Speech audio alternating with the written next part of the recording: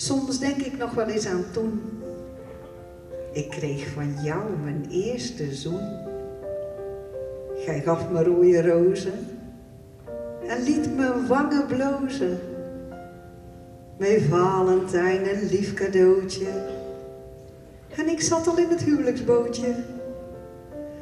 Maar toen kreeg ik de bons. Dat had ik niet verwacht.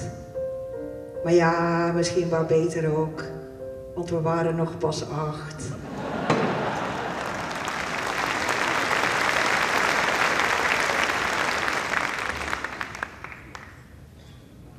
Het is net of ik jou hoor zeggen. Hij braait. We gaan nog niet naar huis. Ik heb mijn tranen niet bedwingen. Want gij komt nooit meer thuis. En toch hoor ik u praten over jouw rood-wit-geel. Bevlogen, enthousiast. Het grept me naar de keel. Jouw borreltje, jouw sigaret. En op het laatst die trage pas. Ik voel het kusje op mijn wang. Alsof het gisteren was. En toen die stilte. Oorverdovend. Jouw welverdiende rust.